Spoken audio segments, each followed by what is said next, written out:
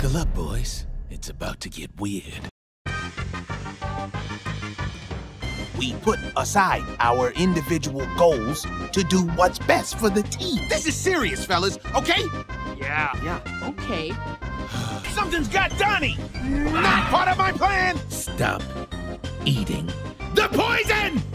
Leo, what are you doing? Enough! Raph will pull it off, because if he doesn't, we'll lose our best friend forever. Mikey, don't say that. You know he chokes under pressure. If you don't cut it out with your middle child nonsense, I'm gonna shove your head in the. Oh, what did you do? Now, who's got an idea on how we can track down meat sweats and find an antidote? Oh, you mean us? Yes! I wasn't sure they knew what a week was. Sure, you can do that. If you want to get green, you gotta play along until you get this sorted out.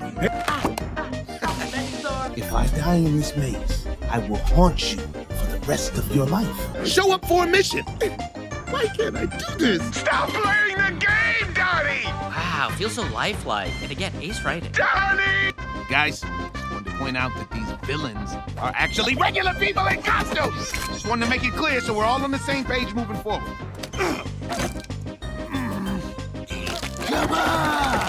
Come! You'll see. Uh, dudes.